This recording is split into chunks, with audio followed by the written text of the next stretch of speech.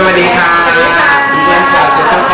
มครับผมเออวันนี้น้องฝ้ายนะครับมาเปลี่ยนสีผมแล้วกับช่างต้นช่างต้นมานี่ก่อนค่ะ มาอธิบายนิดนึงค่ะว่าผมเขาเป็นยังไงค่ะไปนู่นเลยไปนู่นเลยค่ะมาก็คือผมน้องฝ้ายมาเป็นสีชมพูค่ะเมื่อกี้ไม่มีบีฟอร์หรอมีแล้วค่ะ เดี๋ยวเราจะใส่ที่ให้น้องบีฟอร์นะคือบอกค่ะแล้ววันนี้น้องยังไงให้กับพี่ต้นยังไง ก็ไม่อยากให้มันเปลี่ยนไปแล้วก็คือไม่อยากฟอกโคนค่ะ อืมอยากอยากให้มันแบบว่าทำยังไงก็ได้ให้มันแบบดู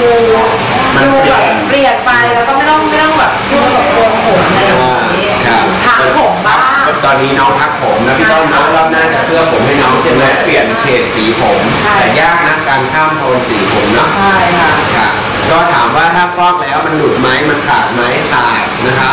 แล้วก็ผมมันหนาแล้วแรกผมมันหนามาก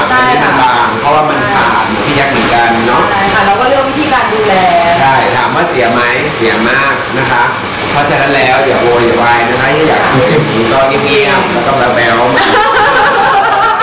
จริงๆต้อง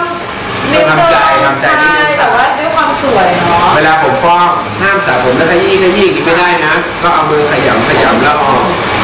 เอาออกนะคะ โอเคฝากน้องไว้ผลงานเร็วๆลูกค่ะก็ตอนนี้มีเอ่อเพลงประกอบละครนะคะกำลังจะออกทางช่อง ชิงรักหักสวาทอ่า